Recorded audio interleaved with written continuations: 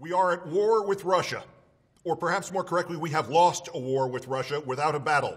We are no longer a sovereign nation. We are no longer a democracy. We are no longer a free people. We are the victims of a bloodless coup. So far, a bloodless coup, engineered by Russia with, at best, the traitorous indifference of the Republican Party and Donald John Trump, a man who, to borrow a phrase from another December long ago, will live in infamy.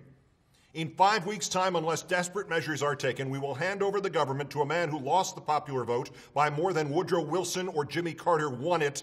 A man whom the Russians wanted to run our country for them, a man whom the Russians got to run our country for them, a man for whom the Russians interfered with our elections, which, if we did it to another country, would be described as an act of war. And in this country, we have conceded defeat. Some experts, John Kasich's strategist, John Weaver for one, have compared this to Pearl Harbor. Even the hard right ex Congressman Joe Walsh says Republican silence will be tantamount to treason. Some others, too, have proved courageous. Trump, self destructive to the last, issued a childish statement mocking the CIA, but as Tim Dickinson of Rolling Stone noted, not denying anything.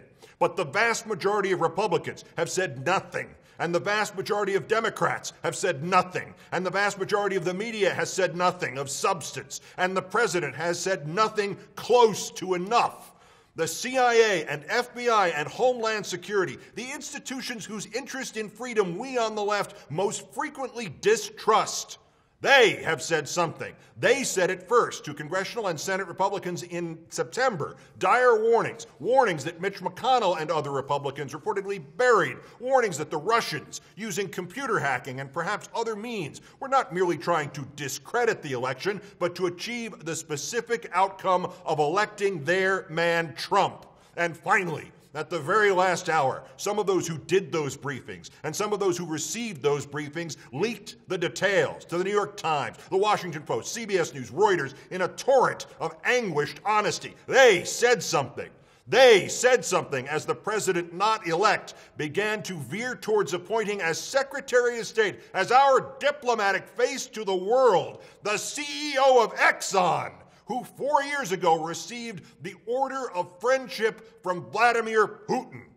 They said something as the members of the Electoral College prepared to gather next Monday to finalize this coup. Some, perhaps unaware that almost half the states they represent permit them by law to vote for someone other than the candidate to whom they are pledged, and that only 38 of them need to do so to prevent this coup.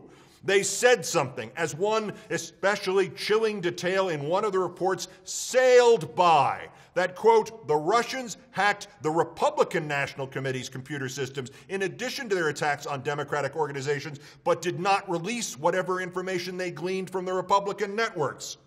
It is a short leap from that conclusion, and it is anything but a conspiracy theory to be wondering if the Russians hacked the RNC and have kept what they found there to make sure Trump and the Republicans obeyed. The President of the United States, who at this rate will be the last freely elected President of the United States, made in his measured way a small gesture last Friday that perhaps opened the door to these horrifying revelations of a coup by an outside power nearly complete he asked for a full review, but we do not have time for a full review.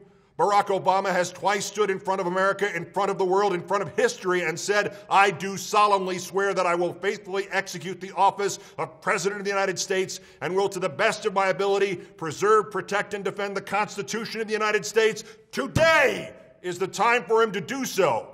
He must immediately declassify and release all relevant materials held by the FBI, the CIA, DHS, and the other intelligence and security services, and in the White House, and anywhere else in government. And the Attorney General must immediately appoint a special prosecutor to investigate what Donald Trump knew and when he knew it, and what, if any, collusive links exist now or existed earlier between the Russian Federation and the Republican National Committee. If Trump does grab power, he can try to dismiss that special prosecutor, but he will at least have to get the courts to sanction him. And most immediately, the intelligence briefing proposed today for the Electoral College, what the CIA and the others know, when they knew it, how much the Trump campaign knew, that must be conducted without delay and without redactions.